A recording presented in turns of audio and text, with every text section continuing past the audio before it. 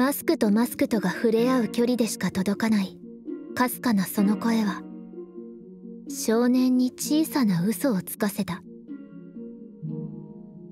いつしかその小さな嘘は希望となって少しずつ地下の世界に広がっていく。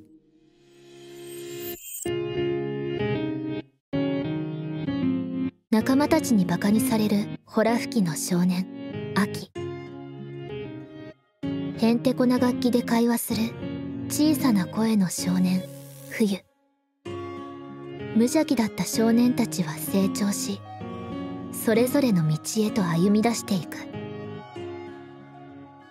だが光にあふれた地下の世界は少しずつ黒い絶望で塗りつぶされていった。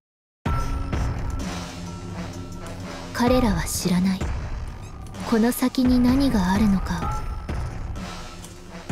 彼らは知らない。過去に何があったのかを彼らは知らない。一体自分は何者なのかを。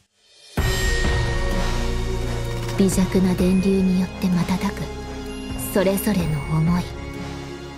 灰に覆われた暗く不確かな世界で。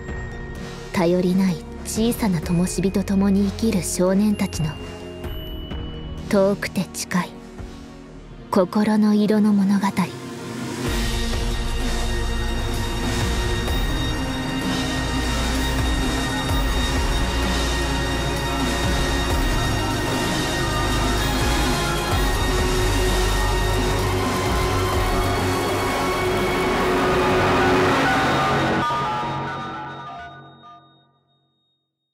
コカラス。